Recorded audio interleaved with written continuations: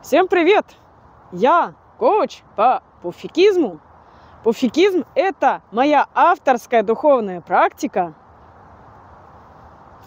которая заключается в том, чтобы сесть на пуфик и сказать, а мне пофиг. Пуфик – это все, на что можно безопасно и комфортно присесть и сказать, а мне пофиг всему, на что мне пофиг. Например, вот этот камушек – это пуфик – я на нем сижу, и мне пофиг. А вот еще меня спрашивают, что такое пуфик с дырочкой? Отвечаю, пуфик с дырочкой – это такой пуфик, на который можно не только присесть, а там, где доступен частный случай, а мне пофига, который называется «а мне насрать». Другими словами, пуфик с дырочкой – это унитаз. Пуфики с дырочкой есть только в тех местах, где есть высокоразвитая цивилизация – где цивилизация слабо развита, там есть только дырочка, но без пуфика. А где совсем нет цивилизации, там нет даже дырочки. Вот, например, на ВДНХ. Пуфики с дырочкой через каждые 300 метров. А вот на берегу реки Яуза даже дырочки-то нету. Делайте выводы сами. Да, хотя вот как ни странно, пуфики есть, на одном из которых я сижу. А дырочек нет. Ну, вы говорите, я слишком кринжовая, а мне пофиг. И пуфик. И контент.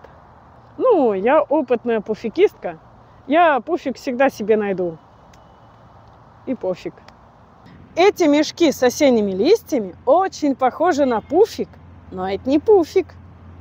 Если на них присесть, во-первых, мешок порвется и прибежит злющий дворник. И еще в мешке может оказаться очень колючий мусор. Блин, колючка. Ой, и тут колючка. Что такое все колючее? Мораль. Не все, что похоже на пуфик, является пуфиком. Не все. И пофиг. Совсем другое дело – а мне пуфик. Самый лучший пуфик – это специально оборудованная скамейка. Правда, они не везде есть, и они бывают иногда заняты. В общем, чтобы стать коучем, надо говорить любой кринж и бред с умным, серьезным и уверенным видом.